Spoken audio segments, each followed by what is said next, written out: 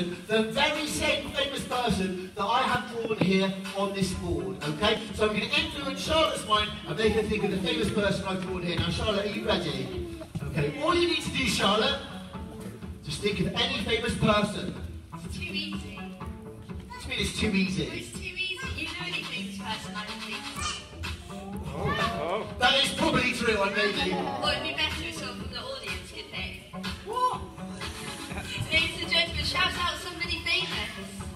Donald Trump. It's Hasselhoff. David Hasselhoff.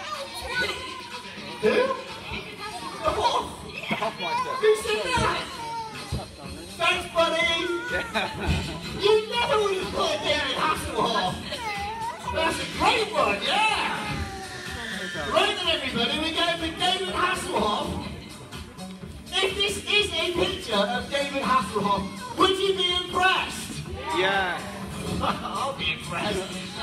I'll be impressed. I drew. Right, okay, fine. We're going for David Hasselhoff, everybody. If this is right, I'm expecting a very big cheer and a round of applause, all right?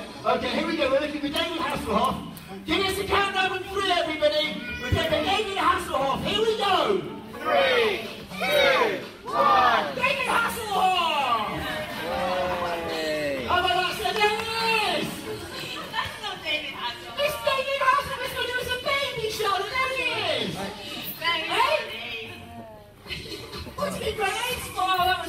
that was good.